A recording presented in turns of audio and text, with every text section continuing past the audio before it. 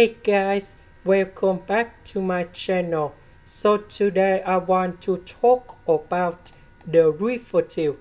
So now I want to show you how to answer. We have the formula in here.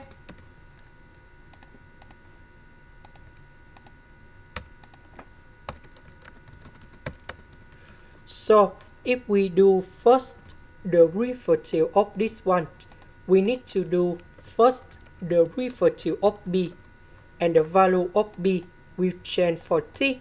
So we have f of b minus we need to do first the derivative of 8 and the value of 8 will change for t. And now we can apply the formula in here and that should be like this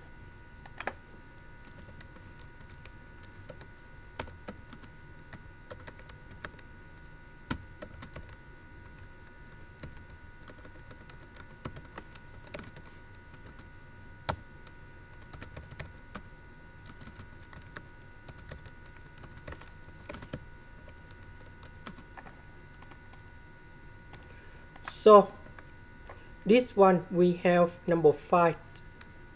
This one we have negative sine x.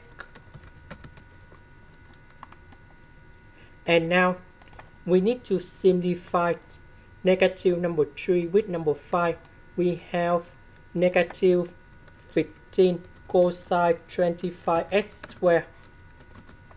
So negative and negative we got positive negative number 3 with sine x we got negative number 3 sine x and that is the final answer.